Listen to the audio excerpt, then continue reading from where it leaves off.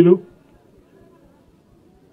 గ్రామ మూడపల్లి గ్రామ సర్పంచ్ గారు సోదరులు అంజిబాబు గారు గౌరవనీయులు స్థానిక ఎంపీటీసీ కావ్య బాలరెడ్డి గారు స్థానిక ఎంపీపీ సోదరి లావణ్య గారు స్థానిక జెడ్పీటీసీ సోదరుడు కుమార్ గారు సెస్ డైరెక్టర్ సోదరుడు అల్లాడి రమేష్ గారు గౌరవనీయులు జిల్లా పరిషత్ చైర్మన్ సోదరి శ్రీమతి నేలకొండ అరుణా రాఘవరెడ్డి గారు గౌరవనీయులు శాసన మండలి సభ్యులు పెద్దలు నారదాసు లక్ష్మణరావు గారు మన ప్రణాళిక మండలి ఉపాధ్యక్షులు ప్లానింగ్ బోర్డు ఉపాధ్యక్షులు గౌరవనీయులు మాజీ పార్లమెంట్ సభ్యులు వినోద్ కుమార్ గారు జిల్లా రైతు బంధు సమితి అధ్యక్షులు గడ్డం నర్సయ్య గారు మాజీ జిల్లా పరిషత్ చైర్మన్ సోదరి శ్రీమతి తుల ఉమ గారు టెస్కాబ్ అధ్యక్షులు కొండూరి రవీందర్రావు గారు గౌరవనీయులు జిల్లా కలెక్టర్ కృష్ణ భాస్కర్ గారు. ఈ కార్యక్రమంలో పాల్పంచుకుంటున్న స్థానిక వివిధ గ్రామాల నుంచి విచ్చేసిన చంద్రుతి మండలంలోని వివిధ గ్రామాల నుంచి విచ్చేసిన గౌరవ సర్పంచ్లకి ఎంపీటీసీలకి అదే రకంగా మూడపల్లి గ్రామ రైతు సోదరులకి సోదరిమణులందరికీ పేరు పేరున పాత్రికేయ మిత్రులకి హృదయపూర్వకమైన నమస్కారాలు. అద్భుతంగా నిర్మించిన ఈ రైతు వేదికను మరి ఆవిష్కరించే ప్రారంభించే అవకాశాన్ని నాకు కల్పించిన సోదరుడు మీ గ్రామ సర్పంచ్ అంజుబాబు గారికి ప్రత్యేకంగా హృదయపూర్వకంగా నా అభినందనలు హృదయపూర్వకమైన శుభాకాంక్షలు కూడా నేను తెలియజేస్తా ఉన్నాను. కొద్దిగా మీరు మాట్లాడకపోతే నేను మాట్లాడొస్తుంది మైక్ కూడా పెద్దగా లేదు. దయచేసి దయచేసి కొద్దిసేపు నిశ్శబ్దంగా ఉండాలని కోరుతా ఇప్పుడే సోదరుడు మీ సర్పంచ్ గారు ఇప్పుడే చెప్తా ఉన్నారు. అన్న మా గ్రామంలో రైతు వేదిక మాత్రమే కాదు వైకుంఠధామం కానీ అదే రకంగా పల్లె ప్రకృతి వనం కానీ ఇతర కార్యక్రమాలు కానీ అన్నింటిని కూడా ఇదే పద్ధతిలో చాలా గొప్పగా తీర్చిదిద్దుకున్నాం చాలా చక్కగా చేసుకున్నామని చెప్పినారు. చాలా చాలా సంతోషం హృదయపూర్వకమైన శుభాకాంక్షలు కూడా నేను సర్పంచ్ గారికి ప్రత్యేకంగా చెప్తా ఉన్నాను. చుట్టూ మీరు చూస్తే ఈ రైతు వేదికలో అన్ని రకాల కార్యక్రమాలు ప్రభుత్వం ఏమేం కార్యక్రమాలు తీసుకుందో అవన్నింటిని కూడా హైలైట్ చేసుకుంటూ. మరి గతంలో లక్ష రూపాయల వరకు పంట రుణాలు మాఫీ చేసింది కేసీఆర్ గారు అనే విషయాన్ని గుర్తు చేస్తూ రైతు బంధు రూపంలో రైతులకు దేశంలో ఏ ముఖ్యమంత్రి ఏ ప్రధానమంత్రి చేయని విధంగా పెట్టుబడి రూపంలో రైతుకు సంవత్సరానికి ఎకరానికి పదివేల రూపాయలు ఇస్తున్న విషయాన్ని గుర్తు చేస్తూ రైతు బంధు ప్రపంచంలోనే ఏ ప్రభుత్వము చేయని విధంగా ఒక రైతు మరణిస్తే ఆయన సహజ మరణం పాలైనా లేదా ప్రమాదవశాత్తు చచ్చిపోయినా ఆ కుటుంబానికి ఐదు లక్షల రూపాయలు ఇచ్చి ఆ కుటుంబంలో ఒక ధీమానిచ్చే రైతు బీమా కార్యక్రమాన్ని గుర్తు చేసిన మన గ్రామంలోని చెరువులు బాగు చేసుకుంటూ మనం కట్టుకున్న మిషన్ కాకతీయని గుర్తు చేసిన ఇంటింటికి నీళ్ళిచ్చే మిషన్ భగీరథ కార్యక్రమాన్ని గుర్తు చేసుకున్నా అదే రకంగా ఇరవై నాలుగు గంటల కరెంటు తెచ్చుకునే కార్యక్రమాన్ని గుర్తు చేస్తున్నా లేదా ఈ ప్రాంతంలో చంద్రుతి ప్రాంతంలో గోదావరి నీళ్ళను తీసుకొచ్చి బ్రహ్మాండంగా ఇటు చందుర్తి కానీ రుద్రంగి కానీ అటు కోనరావుపేట వేములవాడ కిందికి మేడుపల్లి కతలాపూర్ ద్వారా గోదావరి జలాల ద్వారా ఈరోజు తెలంగాణని కోటి ఎకరాల మాగాణం చేయాలనే ఒక లక్ష్యంతో ముందుకు పోతున్న ముఖ్యమంత్రి గారిని గుర్తు చేసుకుంటూ ఈరోజు బ్రహ్మాండంగా పచ్చటి పంట పొలాలు చూపెట్టిన ఇవన్నింటికి ఈ రైతు వేదిక ఒక వేదిక కావడం మనందరికీ కూడా చాలా సంతోషం చాలా గర్వకారణం అని చెప్పి హృదయపూర్వకంగా నేను మీకు విజ్ఞప్తి చేస్తా ఉన్నా. ఒకసారి దయచేసి ఆలోచించమని చెప్పి కూడా నేను కోరుతా ఉన్నా. తెలంగాణ రాకముందు మన ప్రాంత రైతుల పరిస్థితి ఎట్లుంటుండే ఈ రోజు ఎట్లున్నదో ఒక్కసారి గుర్తు చేసుకోండి. ఆనాడు కరెంటు ఎప్పుడు వస్తుందో తెలియదు ఎంతసేపు ఉంటుందో తెలియదు అది ఆ దొంగలు వచ్చే కరెంటు కోసం కావలగాస్తూ ఆనాడు అర్ధరాత్రి కరెంటు కొట్టి కరెంట్ షాక్ కొట్టి చచ్చిపోయిన వాళ్ళు పాము గుట్టి చచ్చిపోయిన రైతులు ఎంతమంది ఉండేనో కోకొల్లలుగా ఒక్కసారి గుర్తు తెచ్చుకోండి. ఆనాడు చెప్పేది ఆరు గంటల కరెంట్ అని చెప్పేది తొమ్మిది గంటల కరెంట్ అని చెప్పేది. కానీ ఎన్నడూ కూడా మూడు గంటలకు మించి ఒక దఫాలో వచ్చిన పరిస్థితి లేదు. పారిన మడే వారాలి మళ్ళీ అట్లాంటి పరిస్థితి. ఊళ్ళల్లో ఎవరైనా చచ్చిపోతే సెస్సోళ్ళకు ఫోన్ చేసి బతిమలాడుకున్నాడు. అయ్యా బాయికాడికి పోతున్నాం. ఒక పదిహేను ఇరవై నిమిషాలు కరెంట్ ఇరవై ఆయన స్నానం చేస్తామని చెప్పి బతిమలాడుకునే రోజులు ఆనాడు ఇదే ప్రాంతంలో ఉండేనా కాదా మన చందుర్తిలో ఒకసారి గుర్తు తెచ్చుకోమని చెప్పి నేను కోరుతా ఉన్నాం ఈరోజు ఉన్నదా పరిస్థితి? కరెంటు ఇరవై నాలుగు గంటలు కడుపు నిండా ఎప్పుడు కావాలంటే అప్పుడు బ్రహ్మాండంగా కరెంటు ఉంటా ఉన్నది. ఎరువులు టైంకి వస్తున్నాయి విత్తనాలు టైంకి దొరుకుతున్నది. కడుపు నిండా ఈరోజు నీళ్ళు గోదావరి జలాలు ఈ ప్రాంత ప్రజల కళ ఈ ప్రాంత రైతుల కళ. ఆ కళ నెరవేర్చింది గౌరవ ముఖ్యమంత్రి కేసీఆర్ గారి నాయకత్వంలోని తెలంగాణ ప్రభుత్వం అనే మాట నేను మీకు గుర్తిస్తా ఉన్నా. చెరువులు నిండు కుండల లెక్క బ్రహ్మాండంగా ఎక్కడికక్కడ ఏ ఊరికి పోయినా నిండు కుండల లెక్క ఉన్నాయి.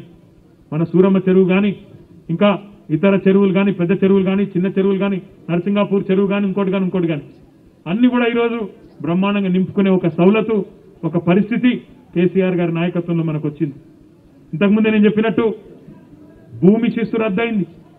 నీటి తిరువగట్టే పని లేదు. రైతు పైసలు కట్టుడు కాదు. రైతుకే ఈరోజు ఉల్టా పైసలు ఇచ్చే ప్రభుత్వం పెట్టుబడి రూపంలో రైతు బంధునిచ్చే ప్రభుత్వం కేసీఆర్ ప్రభుత్వం. మనం పెట్టిన తర్వాత ఒక పది పదకొండు రాష్ట్రాలు కాపీ కొట్టిండ్రు. కేంద్ర ప్రభుత్వం కాపీ కొట్టింది. వాళ్ళు కూడా ఈరోజు మనం చేసిన మంచి పని నుంచి నేర్చుకొని వాళ్ళు కూడా ముందుకు పోతా ఉన్నారు. సంతోషం. ఇబ్బంది ఏం లేదు. మరి ఈరోజు తెలంగాణ రైతు చేయాల్సిన పని ఏంది? ఎందుకు కట్టుకున్న మీ రైతు వేదిక? అంటే ఒకే ఒక్క కారణం. ముఖ్యమంత్రి గారు ఒకటే అంటా ఉన్నారు. వ్యవసాయం దండుగా అనే కాడి నుంచి వ్యవసాయం పండుగ చేయాలి రైతును రాజు చేయాలనే ఏకైక లక్ష్యంతో ముఖ్యమంత్రి గారి కార్యక్రమం తీసుకున్నారు. ఏం జరగాలి ఈ రైతు వేదికలో? ఏం జరగాలంటే మీరు మీతో పాటు వ్యవసాయ శాఖ అధికారులు మీకు ఈరోజు ఐదు వేల ఎకరాలకు ఒకరు చొప్పున వ్యవసాయ విస్తరణాధికారిని ప్రభుత్వం నియమించింది. మీ మూడపల్లి క్లస్టర్ కూడా ఒక వ్యవసాయ విస్తరణాధికారిని ఇచ్చినారు. ఎవరైనా పేరేంది ఇక్కడ? రమ్య మేడం ఉన్నది మీ వ్యవసాయ విస్తరణాధికారి ఆమె బాధ్యత ఒకటే. ఈ ఐదు వేల ఎకరాల్లో ఏం పంట వేయాలి? ఏ రకమైన పంట పండిస్తే మీకు గిట్టుబాటు అవుతుంది? ఏం చేస్తే మీకు లాభం అవుతుంది? ఎప్పటికప్పుడు మీకు వివరాలు ఇవ్వాలి. ఈ రైతు వేదికలో మీరు ఎప్పటికప్పుడు రైతులు కూర్చోవాలి మాట్లాడుకోవాలి. వ్యవసాయంలో ఏ రకమైన పరిశోధనలు జరుగుతున్నాయి? ఏ రకమైన కొత్త వంగడాలు వచ్చినాయి? ఏది వేస్తే రైతుకు లాభం అవుతుంది? ఆ చర్చ జరగాలి. మీరు ఇక్కడ నుంచి డైరెక్ట్గా ప్రొఫెసర్ జయశంకర్ వ్యవసాయ విశ్వవిద్యాలయం హైదరాబాద్లో ఉన్నది. వాళ్ళతో డైరెక్ట్గా మీరు మాట్లాడాలి. మాట్లాడాలంటే ఇంటర్నెట్ కూడా ఇక్కడ ఇవ్వాలి అతి త్వరలోనే మీ రైతు వేదికలన్నిటికీ కూడా రాష్ట్ర వ్యాప్తంగా ఇంటర్నెట్ కనెక్షన్ కూడా ఇవ్వబోతా ఉన్నాం. డైరెక్ట్గా ఇక్కడ నుంచి మీరు రాష్ట్రంలోని ముఖ్యమైన శాస్త్రవేత్తలతో వ్యవసాయ శాస్త్రవేత్తలతో నేరుగా రైతులు మాట్లాడే పరిస్థితి ఉంటుంది. అది మాత్రమే కాదు. చూస్తున్నారు మీరు. Palm oil cultivation. ఇంకా ఇతర పంటలు బాగా వరి మాత్రమే కాదు పత్తి మాత్రమే కాదు మొక్కజొన్న మాత్రమే కాదు ఇతర పంటల వైపు కూడా ఉద్యాన పంటలు కానీ ఇతర పంటల వైపు కానీ రైతులు మల్లాలి మల్లితేనే మరి ఒక మూస పద్ధతి నుంచి బయటపడి అందరం కూడా బాగుండే పరిస్థితి ఉంటుందనే ఒక ఆలోచన. ఒక్కసారి మీరు గుర్తు చేసుకోండి. తెలంగాణలో ఒకనాడు నీళ్ళే లేవు మీరేం చేస్తారన్న పరిస్థితి నుంచి ఈరోజు దేశానికే భూగబెట్టే స్థాయికి తెలంగాణ చేరుకున్నది. దేశం మొత్తానికి ధాన్య భాండాగారంగా తెలంగాణ మారింది. కేసీఆర్ గారి నాయకత్వంలో రైతుల కష్టంతో ఈరోజు మన వేములవాడ రైతులు కానీ సిరిసిల్ల జిల్లా రైతులు కానీ గర్వంగా చెప్పుకునే పరిస్థితికి వచ్చినాం. నేను మీ అందరికీ ఒకటే విజ్ఞప్తి చేస్తా ఉన్నా. ఒక మంచి ఆలోచనతో ఒక మంచి ఆశయంతో ముఖ్యమంత్రి గారు ఈ రైతు వేడుకలు రైతులను సంఘటితం చేయాలి. ఆ సంఘటిత శక్తిలో ఉండే పవరు రైతులు తెలుసుకోవాలి. ఒకరి నుంచి ఒకరు మంచి ఆలోచనలు పంచుకోవాలి. ఎవరి పాటికి వాళ్ళు వ్యవసాయం చేసుకున్నాడు కాదు పది మంది కూర్చొని ఒక దగ్గర మంచి చెడు మాట్లాడుకొని ఒకరి నుంచి ఒకరు నేర్చుకొని అందరూ బాగుండాలి అందరూ లాభపడాలి అనే మంచి ఉద్దేశంతో ముఖ్యమంత్రి గారు వేదికలు నిర్మాణం చేసినారు. గోదావరి నీళ్ళు వచ్చినాయి చంద్రుతి మండలానికి. కళలో కూడా ఎవరు అనుకోలేదు. ఒకప్పుడు పెద్ద ఆయన చిన్నమనే రాజేశ్వరరావు గారు చెప్పేది ఈ ప్రాంతానికి గోదావరి నీళ్ళు తీసుకొస్తాం లిఫ్టులు పెట్టి తీసుకొస్తామంటే అందరు నవ్విను ఎట్లయితుంది? అన్నారు. కానీ ఈ రోజు ఆ కళ నిజం చేసింది గౌరవనీయులు మన ముఖ్యమంత్రి కేసీఆర్ గారు మన ఎమ్మెల్యే చెన్నమనేని రమేష్ బాబు గారు అనే మాట కూడా ఈ సందర్భంగా నేను మీకు గుర్తు చేస్తా ఉన్నా. తప్పకుండా మీ అందరికి నేను ఒకటే మాట ఇస్తా ఉన్నా. నాకు జిల్లా మంత్రిగా సిరిసిల్ల వేరు వేములవాడ వేరు కాదు. రెండు కూడా కలిపి తీసుకొని పోయే బాధ్యత నాది. సిరిసిల్లలో ఏ రకమైన అభివృద్ధి జరుగుతున్నదో అదే స్థాయిలో అభివృద్ధి వేములవాడలో కూడా చేసి చూపెట్టే బాధ్యత నాది.